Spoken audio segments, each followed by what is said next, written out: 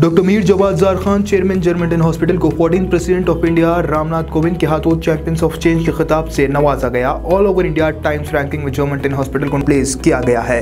Experience German and robotic technology only at Germanten hospital Atapur Hyderabad आइए नाजिर, अगली खबर हम आपको बताने जा रहे हैं, जो कि बहादुरपुरा आंध्रा कॉलोनी से है। जैसा कि परसों के दिन हमने आपको खबर दिखाई थी कि वहाँ की बिल्डिंग को जो है हैंडीकैप की बीमारी हो गई है, क्योंकि वहाँ की बिल्डिंग जो है एक तरफ़ से झुक गई थी। वहीं पर पड़ोसियों के दिल में डर बैठ गया था। फिर पड़ोसी जो है अपना अपना मकान खाली कर कर दूर दराज में जाकर रह रहे थे, यानी उस बिल्डिंग से दूर जाकर वो रह रहे थे। खैर, कल जो है उसका डिमोलिश किया गया। लेकिन आज आप देखेंगे तो ऐसा नज़र आएगा कि वहाँ पर कभी बिल्डिंग थी नहीं, क्योंकि इतनी सफ़ाई से और इतना अच्छा काम हुआ है। तो आइए वहाँ के नज़ारे हम आपको